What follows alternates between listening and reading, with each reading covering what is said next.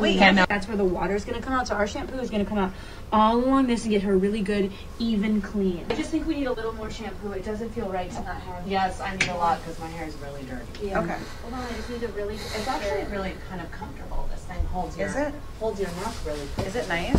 It looks good. Great. Little spread. Okay.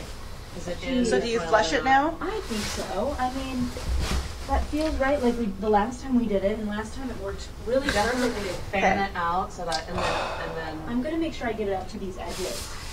no, I need to get my head further in. It needs to come Oh, in it has to go in further. Okay. Yeah. Yep. And then I need the back. I need to get the back. Yes. Yes. Yep. Oh yes. This Okay. good. And now you see it. The best part is is is the hole is gonna take the hair in it and it's gonna start cleaning it. Do you see? Her hair is already starting to be cleaned in the toilet. Yeah. Do you see the water? The dirt is already coming out. YouTube, what is good? Vinny Matthews here. Thanks for checking out the channel, man. Um, I got my mask on because I'm sick. I'm sick right now, man. In today's episode of White People Do the Darnest Things, man.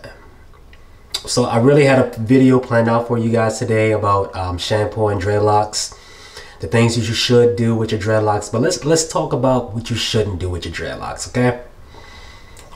Okay. Um, from what I see right here, white people, y'all canceled. Man, you guys are canceled, and it's very unfortunate because my son, he's half white. He's canceled too, okay? Okay? Well, half of him is canceled, okay? I'm canceling him and his mother. All right? Um, so he's only going to get um half of his birthday gifts, half of his Christmas gifts, half of the loving, half of the time. Yo, I'm, I'm cutting out half of everything when it comes to my son because um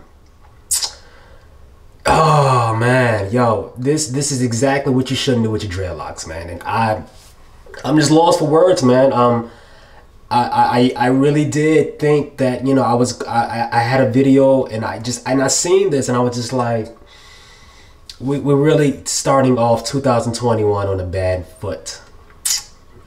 It's very very unfortunate man. Um I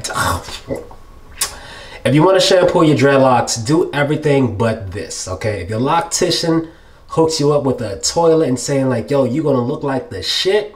And then she actually puts you in a toilet that people shit? You gotta run.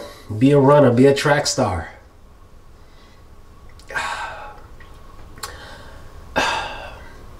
You you know no I'm, I'm not i'm not i'm not gonna say no more.